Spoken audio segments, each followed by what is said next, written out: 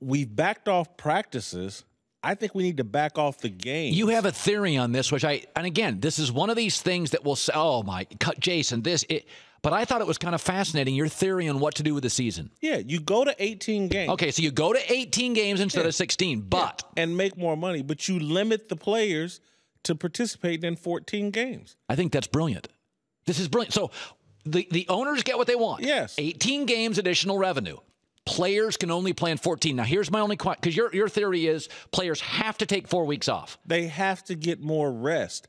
Anytime you hear these players say, "Oh man, I had two weeks off because of injury and I felt completely refreshed," we've learned so much about the human body and how sleep is just as important as what you eat and how much you work out. It is. rest and recuperation. Those football games on Sunday are like major, major car accidents every Sunday, 16 times a year. And it takes till Tuesday, Wednesday, or Thursday for you to recover. Give guys a complete week off from practice and games four times a year. What do you do with- their bodies recover? What do you do with quarterbacks? Brady's going to sit four times a year? Absolutely. Does not David Price is going to sit every three or four days.